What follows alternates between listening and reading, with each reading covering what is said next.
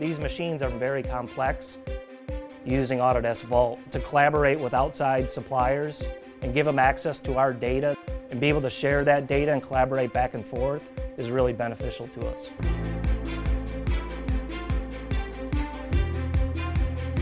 They allow us to keep on the cutting edge and, and build the best machines in the world right now where we're rivaling German designed machines with, with what we have at our facility. Outside suppliers are able to connect to our vault directly and work with us simultaneously. We also use it to extend to other teams in our organization, maybe for purchasing, so that they have more information. To see what changes were made and when allows us to understand the impacts to upcoming designs or why things changed the way that they did.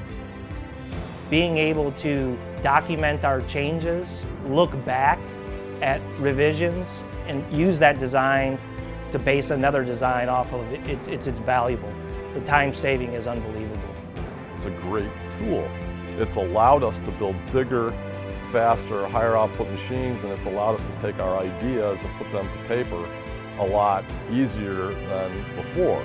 Whatever the customer envisions or, dreams or wants, we'll find a way to put it into that machine and, give them what they want and, and make sure that, that they're satisfied.